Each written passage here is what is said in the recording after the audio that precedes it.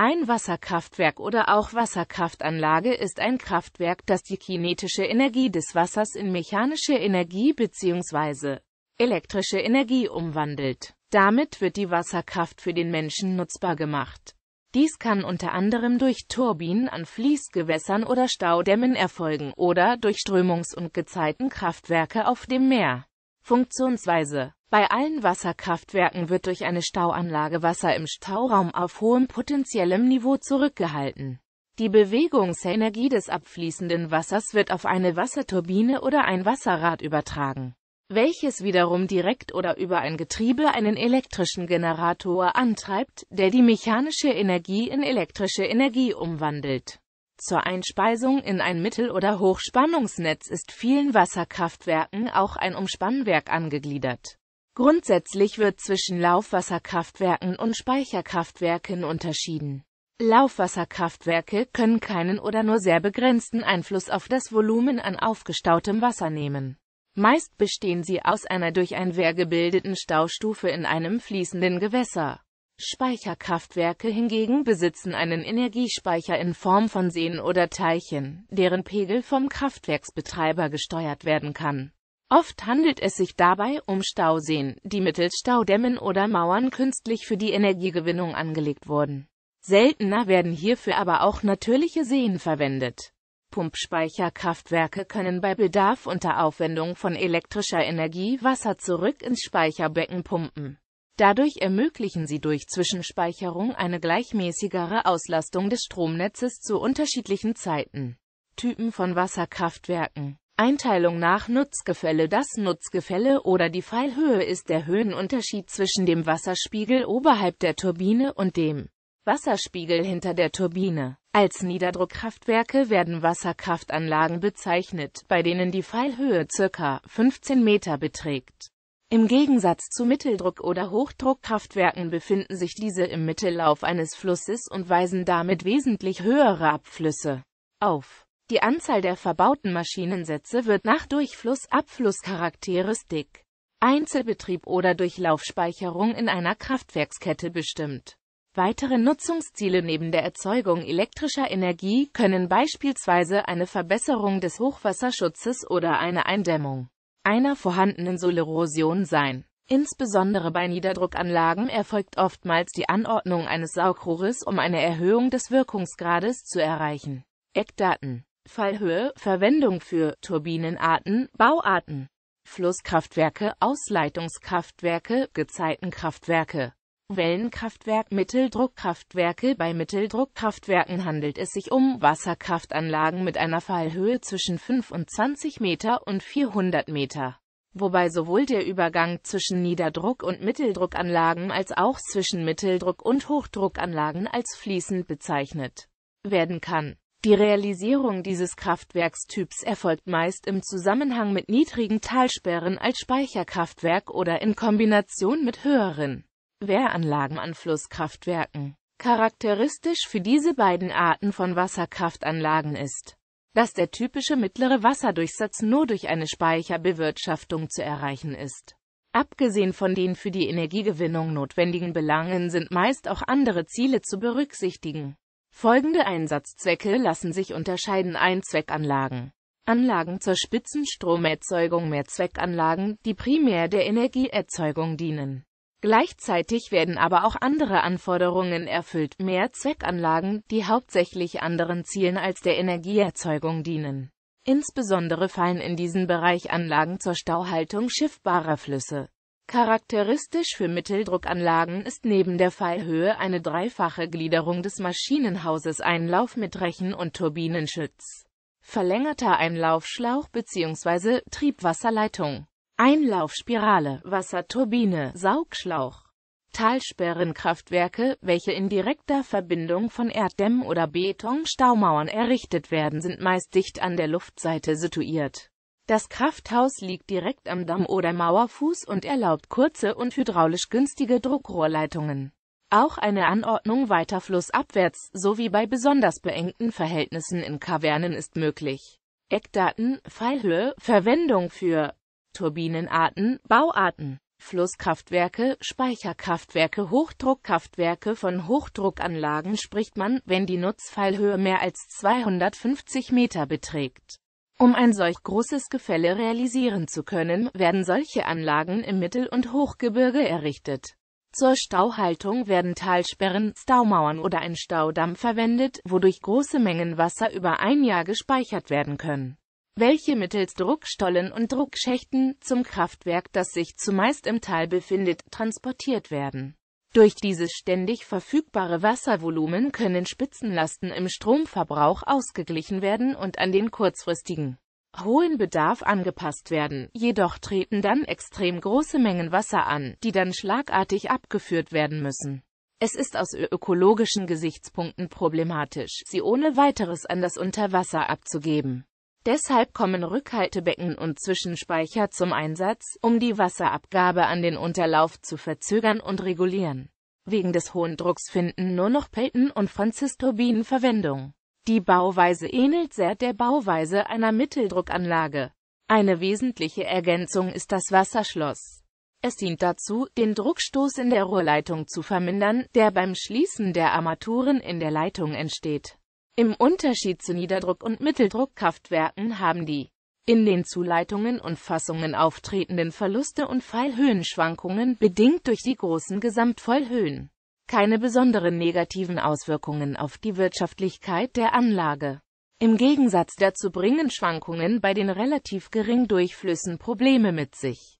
Diesem Umstand lässt sich mit einer Erweiterung des Einzugsgebietes der Anlage beispielsweise durch Einbeziehung benachbarter Speicherseen und Beileitungen, begegnen. Zum Schutz der teilweise sehr langen Druckstollen durch die bei Schnellverschluss der Turbinen auftretenden Druckstöße kann, wie oben schon erwähnt, die Anordnung eines Wasserschlosses erfolgen. Drei Anlagentypen lassen sich nach ihrer grundsätzlichen Anordnung unterscheiden. Hochdruckanlagen mit Freispiegelkanal und Einlaufbecken bzw. Freispiegelstollen und Druckleitung. Bei diesen Anlagen weisen die Wehranlagen nur geringe Höhen auf und dienen nur dem Zweck der Wasserfassung und nicht der Druckerhöhung.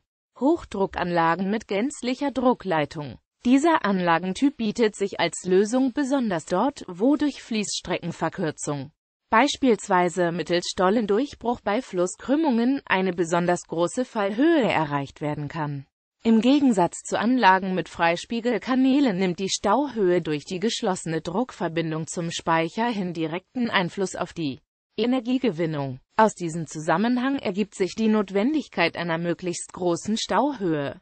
Talsperrenkraftwerke Ähnlich den Mitteldruckanlagen wird hier das Krafthaus in direktem Anschluss an die Talsperre errichtet, die Fallhöhen sind jedoch größer. Eckdaten Fallhöhe, Verwendung für Turbinenarten, Bauarten, Beispiele, Natuns Kraftwerk, maximal 180 Megawatt, Fallhöhe über 1150 Meter. Es zählt zu den Kraftwerken mit der weltweit größten Fallhöhe. Kraftwerk Camper Cologno, Kraftwerk Oberfellach von 1943, Fallhöhe 323 Meter. Drei Pelton-Turbinen leisten 16 Megawatt. Bei einem Laufwasserkraftwerk wird ein Fluss gestaut und mit dem abfließenden Wasser elektrischer Strom gewonnen. Bei einem Speicherkraftwerk wird das Wasser über einen Zeitraum gespeichert, um bei Bedarf wertvolle Spitzenenergie zu erzeugen. Ein Pumpspeicherkraftwerk ist ein Speicherkraftwerk, bei dem mit überschüssigem Stromwasser aus einer niedrigen Lage in einen höher gelegenen Stausee gepumpt wird, um später Spitzenstrom bei erhöhtem Strombedarf zu erzeugen. Pumpspeicherkraftwerke bieten als derzeit einzige Energieanlagen die Möglichkeit, Elektrizität wirtschaftlich und in nennenswertem Umfang mit Hilfe potenzieller Energie zu speichern. Ein Kavernenkraftwerk verwendet künstlich geschaffene Hohlräume als Energiespeicher oder als Standort für Kraftwerkskomponenten. Es fügt sich damit sehr unauffällig in das Landschaftsbild ein. In Wellenkraftwerken wird im Unterschied zu einem Gezeitenkraftwerk nicht der Tidenhub sondern die Energie der kontinuierlichen Meereswellen selbst ausgenutzt. Ein Meeresströmungskraftwerk nutzt die kinetische Energie von Meeresströmungen. Eine Schiffmühle besteht aus einem auf einem Schwimmkörper befestigten und auf einem Fluss verankerten Wasserrad. Ein Gletscherkraftwerk nutzt das Schmelzwasser eines Gletschersees. Es wird über Rohrleitungen zu dem Krafthaus zur Energieerzeugung geleitet. Eine Stromboje wandelt die kinetische Energie des Wassers in elektrische Energie um. Bei diesem neuartigen Typ werden das Landschaftsbild und der Wasserspiegel nicht verändert. In einem Wasserwirbelkraftwerk bildet sich in einem runden Staubecken ein stabiler Wasserwirbel über einem zentralen Abfluss aus, der eine Wasserturbine antreibt, spezielle Bauform eines Laufwasserkraftwerks zur Druckreduktion in Hauptwasserleitungen. Ein Beispiel ist das Wasserleitungskraftwerk Gaming als Teil der 2 Wiener Hochquellenwasserleitung. Ökonomische Bedeutung Im Jahr 2012 waren weltweit Wasserkraftwerke mit einer kumulierten Leistung von zusammen rund 990 Gigawatt installiert, die rund elektrischer Energie produzierten.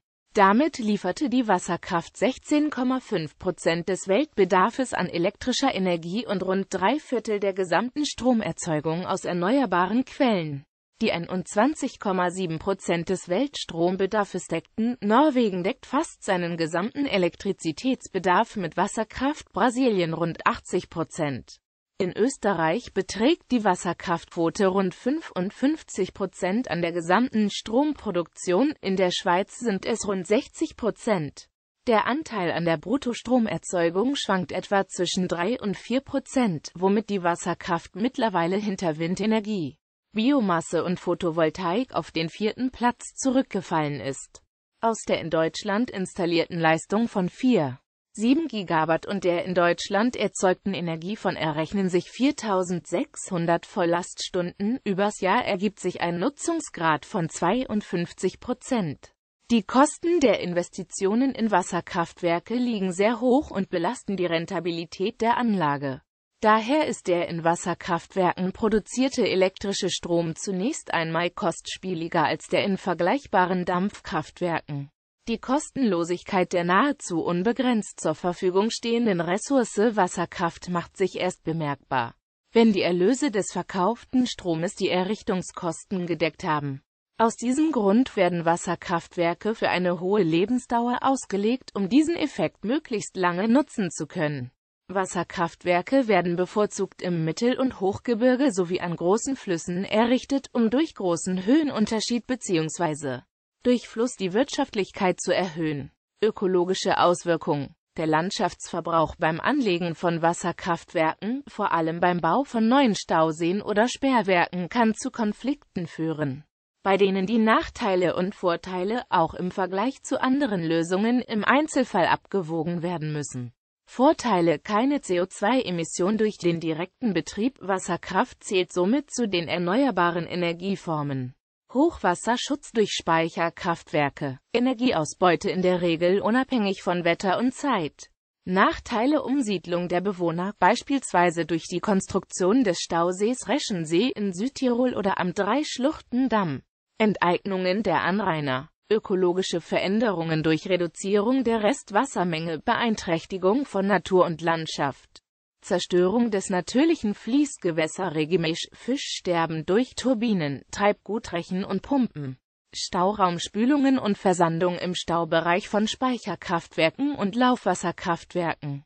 Mit der regelmäßigen Durchführung dieser Methode wird versucht, das Volumen des Stauraumes zu erhöhen.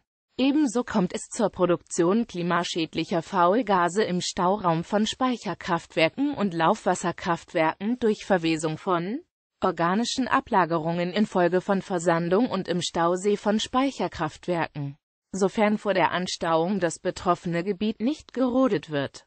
Verursachung von Schwallbetrieb bei Speicherkraftwerken und Laufkraftwerken, welcher zu einer Reihe von ökologischen Auswirkungen in Fließgewässern führt. Hierbei kann sich auch in der trockenen Jahreszeit innerhalb eines engen Hochgebirgstales ein gefährliches Hochwasser bilden wenn weit oberhalb der Gefahrenstelle ein Wasserkraftwerk seinen Betrieb wegen eines technischen Schadens sehr schnell beenden muss. Massiver Eingriff in den Grundwasserhaushalt durch die Errichtung von Staudämmen. Versiegelung des Stauraums oder durch die Konstruktion von Drainagen. Oftmals kommt es dabei zu Verunreinigungen des Grundwassers, Absinken bzw. Versickern oder Ansteigen des Grundwasserspiegels für den Menschen ungenießbares Trinkwasser aus Brunnen oder Umstellungen von Landwirtschaften können unter anderem die Folgen sein. Verlust von Habitatsangebot durch Treibgutrechen Die Entnahme von verschiedenen Materialien, wie zum Beispiel Treibholz, durch die Rechenanlagen von Wasserkraftwerken, verursacht den Verlust von wichtigen Lebensräumen im Unterwasser. Für viele Organismen wie zum Beispiel Fische stellt Treibgut einen wichtigen Lebensraum dar. Dieser geht durch die Entnahme verloren. Überstauung und Zerstörung von Kulturgütern wie zum Beispiel am geplanten Ilisu-Staudamm in der Türkei. Geschichte Schon vor 5000 Jahren gab es in China und im ehemaligen Mesopotamien Wasserräder. Damals hatte man herausgefunden, dass die Strömungsenergie des Wassers dem Menschen nützlich gemacht werden kann. Auch später im antiken Rom und Griechenland wurden Wasserräder zum Mahlen von Getreide und zur Bewässerung genutzt. 1767 stellte der englische Bauingenieur John Smeaton das erste Wasserrad aus Gusseisen her, dies gilt als Nukleus der heutigen Energiegewinnung. Mittels Wasser. Im Jahr 1880 baute man in Nordengland das erste Wasserkraftwerk, mit dem elektrische Energie gewonnen wurde. Und um 1896 entstand an den Niagara-Fällen in den USA das erste Großkraftwerk der Welt. 1900 wurde in Seifersdorf bei Diepoldeswalde ein Wasserkraftwerk erstmals erwähnt, welches die Gesellschaft Johannes Konrad Theodor von Hassler in Augsburg erwarb. Sie bauten eine 1864 errichtete Ölmühle und die daneben stehende Knochenmühle dafür um. Zu Beginn des 20. Jahrhunderts vergrößerte sich das Interesse an Wasserkraft, da es inzwischen effizientere und größere Turbinen gab und die Nachfrage nach Strom ständig wuchs. 1911 wurde einige Kilometer westlich von Erjukan von Norsk Hydro das Wasserkraftwerk Wemork gebaut, zu der Zeit das größte der Welt. In den folgenden Jahren wurden weitere Kraftwerke und Industrieanlagen errichtet. 1917 lebten ungefähr 10.000 Menschen in Erjukan und Umgebung. 1941 wurde im US-Bundesstaat Washington die Grand Coulee-Talsperre fertiggestellt, sie hat eine Nennleistung von 6.495 Megawatt. Nach dem Bau des Aswan-Staudammes in Ägypten, er staut den Nil auf, wurde deutlich, wie sehr ein Staudamm in die Flussökologie eingreifen kann. Die Drei-Schluchten-Talsperre in China hat insgesamt etwa 18.200 Megawatt. Im Dezember 1993 wurde mit dem Bau begonnen, seit 2008 sind alle 26 Turbinen in Betrieb. Siehe auch Liste der größten Wasserkraftwerke der Erde. Durch einen Klick auf das Dreieck über der Spalte Fertigstellung ordnet sich die Liste. Chronologisch. Es gab viele Brüche von Staumauern, zum Beispiel durch Erdbeben und oder durch Baumängel. Am 17. Mai 1943 warfen Bomber der Royal Air Force spezielle Bomben auf die Möhne-Talsperre und in die Eder-Talsperre. Am 8. August 1975 löste ein Taifun in China einen Kaskadenbruch von 26 Staudämmen aus. Das Prinzip eines Wasserkraftwerkes war und ist bis heute unverändert. Wasser wird aus einem höhergelegenen Speicher über Druckleitungen zum Kraftwerk geführt. Bemerkenswertes Vereinzelt findet man Wasserkraftwerke oder Elemente davon auch als Bestandteil von Wappen. Das Wappen Nordkoreas enthält ein Wasserkraftwerk mit Strommast. Die oberösterreichische Gemeinde Reutham führt in ihrem Wappen eine Turbine mit Stufe als Symbol für Kraftwerk und Traunfall.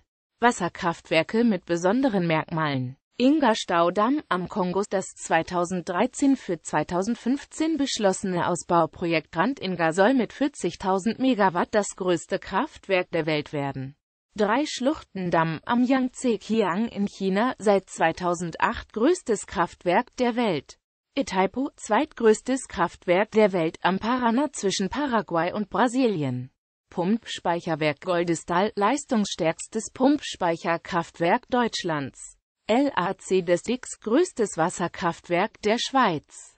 Malta Kraftwerke, leistungsstärkstes Wasserkraftwerk Österreichs. Roseland-Talsperre, leistungsfähiges Wasserkraftwerk in Frankreich. Kraftwerk Eisernes Tor, eins größtes Wasserkraftwerk Europas. Kaorbassa, größtes Kraftwerk Afrikas. Grand Coulee, größtes Kraftwerk der USA. Hoover-Talsperre, berühmtes US-amerikanisches Kraftwerk. Walchensee-Kraftwerk, klassisches Speicherkraftwerk in Deutschland.